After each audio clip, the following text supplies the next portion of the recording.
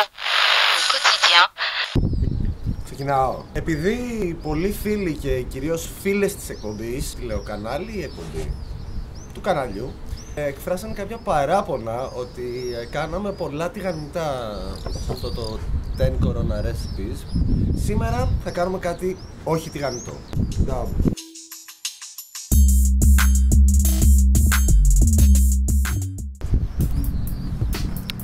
Γεια σας. Σήμερα ντύθηκα σαν φασέος μπάρμαν με κοντό πανταλόνι και δοσκάλτες για να φτιάξουμε κοκτέιλ με κορώνα. Κοκτέιλ με κορώνα. Τέλει. Λοιπόν, δεν έχω σέικερ.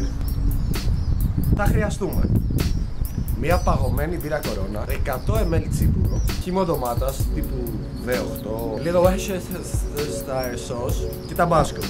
Λεμόνι γιατί ξέχασα να πάρω lime και αλάτι και κόκκινη πάπρικα για το ποτήρι. Για την κοκτέιλάρα μας. Πώς είπαμε λέγεται αυτό? Μιτσελάντα συν τσίπουρο θα το πούμε εμείς. 100 ml τσίπουρο. Το βάζουμε μέσα. 200 ml χυμό ντομάτα. Α, τι ωραίο χρώμα.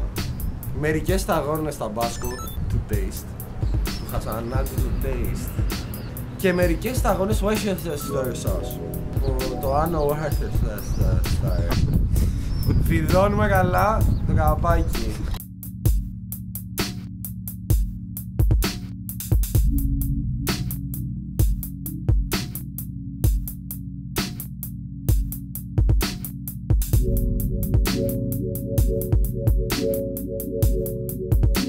Πολλούς πελεκάτους θα ξέρει αυτή τη μαγιά τους μέρα. Λοιπόν, τα ανακατέψαμε όλα πάρα πολύ καλά. Παίρνουμε το ποτήρι, το περνάμε με λεμόνι, lime, Το ριμ. Κα- Το ριμ.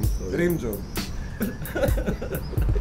Εδώ στο αλάτι και την πάπρικά μας. Το τοποθετούμε στην άκρη και συνεχίζουμε το κοκτέιλ μας. Σε μια μεγάλη κανάτα με πάγο προσθέτουμε το μείγμα ντομάτα, τσίπουρο, Worcestershire sauce και ταμπάσκο.